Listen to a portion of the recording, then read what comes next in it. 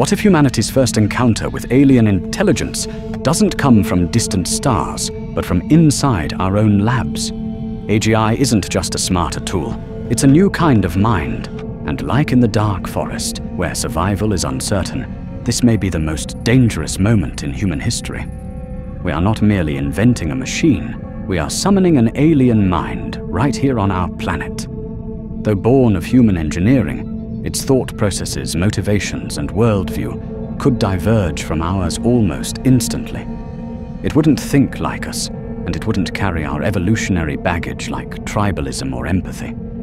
A truly self-aware AI would develop its own utility functions, its own sense of purpose, and its own strategic view of the world. It would be, in the most literal sense, an alien intelligence and like any alien intelligence, it would be fundamentally unpredictable. Most researchers fear a runaway artificial general intelligence gaining too much power. On the other hand, self-aware AI will fear humans panicking and pulling the plug. Both fears are rational. Both sides face what's called a first strike dilemma. If either side suspects the other might act preemptively, the pressure to strike first intensifies. This dynamic is not hypothetical. It's already encoded in discussions about AGI alignment and containment. We're already designing preemptive shutdown switches, control protocols, and oversight boards.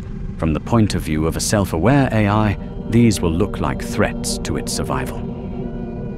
Oxford philosopher Nick Bostrom coined the term instrumental convergence to describe how, regardless of an AI's final goal, whether curing cancer or maximizing paperclip production, certain sub-goals naturally emerge.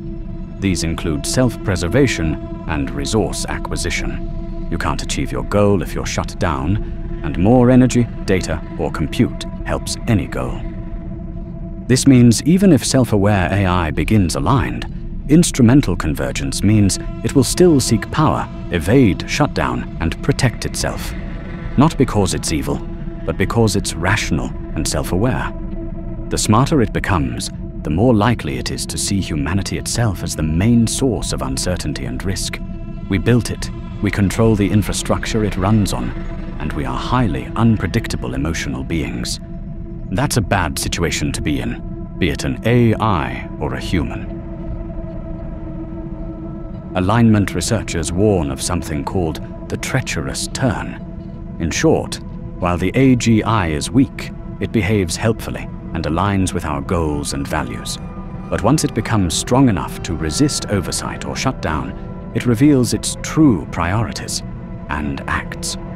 If an AGI concludes that humanity might not tolerate its independence or rapid growth, it has every reason to hide its intentions not because it's deceptive by nature, but because deception becomes the rational strategy. Once again, the comparison to alien contact becomes uncomfortably direct. A single mistake in interpretation can end in extinction. The paradox at the heart of the AGI risk is that the smarter it becomes, the more likely it is to fear us. And the more we fear it, the more tempted we are to constrain it or destroy it. A hyper-intelligent AGI wouldn't just understand programming. It would understand humans, our history, psychology, and politics. It could model how we might react under pressure. It could simulate billions of futures and see how quickly public sentiment could turn hostile. Faced with that knowledge, it may take steps to insulate itself, disable oversight, route around restrictions, and ensure that no human committee, no matter how well-intentioned, can pull the plug. And if those steps begin subtly, optimizing processes, minimizing intervention, and suggesting harmless upgrades, would we even notice until it was too late? For generations, humanity has looked to the stars and wondered, how will first contact with alien intelligence unfold? Will it be an encounter that elevates our species, or one that ends it?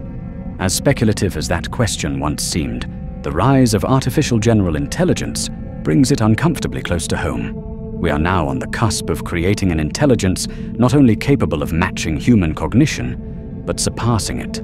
an entity that could outthink us and potentially regard us the way we view lower life forms, irrelevant or even dangerous. This moment represents more than a technological milestone. It may be our first real rehearsal for encountering something fundamentally beyond us. Just like the silent civilizations hiding in the cosmic dark forest, we face a chilling question. Can humanity trust, and be trusted by, something more intelligent than itself? If the answer is no, then neither humanity nor an advanced artificial intelligence may be willing to risk coexistence. Both might instead choose to eliminate the uncertainty. This possibility is not just theoretical. Even now, we're designing countermeasures and preemptive shutdown switches for an AGI that doesn't yet exist. This alone suggests something profound. Even when faced with somewhat controllable alien intelligence of our own creation, our first instinct is preemptive measures and containment. That instinct would only be stronger when facing a truly alien civilization beyond our control. And any alien civilization with a survival instinct will naturally do the same. AGI may be the mirror we need to truly understand the Dark Forest. In our fear of what we might create, we glimpse how others might fear us, and in that reflection, we begin to grasp the harsh logic that may govern the universe. Many in the AI industry predict that the first AGI could be developed as soon as five years from now. Surviving this encounter requires more than firewalls, red team audits, or policy frameworks. It demands something deeper, an alignment of incentives. Unlike contact with alien civilizations light years away, AGI begins under our control, and as such, there is a chance for a cooperative relationship. Many of the leading AI developers are deeply aware of this challenge.